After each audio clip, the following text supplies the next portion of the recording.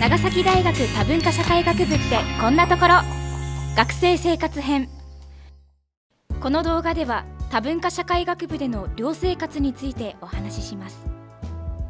多文化社会学部のある文教キャンパスには長崎大学の多くの学部が集中しており他学部の学生との交流も活発に行います。また文教キャンパス周辺には商業施設が多く電車バスなどの公共交通機関も充実していることから長崎市中心部への移動も便利です。課外活動やアルバイトなどにこの環境を生かしている学生も多くいます。多文化社会学部へ入学した学生のうち希望者は入学後に国際学寮ホルテンシアに入居することができます。ホルテンシアは長崎大学文教キャンパスから徒歩15分弱の距離にあり通学にも便利です。チョコレート色の壁がおしゃれな3階建てで2015年に完成しました。収容定員は135人でホルテンシアは1年生優先ですが2年生進級後も空室があれば入寮を続けることができます。ホルテンシアでは一人一人に個室が提供されるため自分の時間やプライバシーも確保できます。個室にはエアコン光回線インターネットテレビ端子机椅子ベッドがあります。個室には暗証番号で鍵のかけられるドアがついています。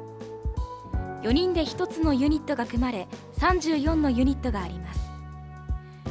ユニットごとにキッチン食事用のテーブル椅子冷蔵庫オーブンレンジ洗濯機乾燥機トイレシャワーブースなどを共用します。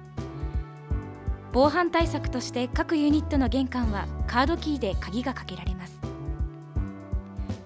食事の提供はありませんが共同キッチンで自炊をすることができます。ホルテンシアには集会室もあります。プロジェクターが設置されていて勉強会を開いたりプレゼンテーションの練習をしたりすることができます。ホルテンシアでは外国人留学生とのルームシェアによる共同生活を推進しています。原則として各ユニットに外国人留学生を1人から2人配置しキャンパス外でもさまざまな文化に触れて生活することにより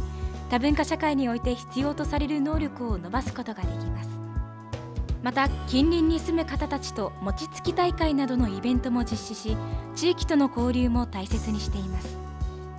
なお希望者が多数の場合は入寮できないことがあります。また情勢によっては外国人留学生とのルームシェアができない場合もありますのでご了承ください寮の費用等については大学のホームページなどで最新の情報をご確認ください。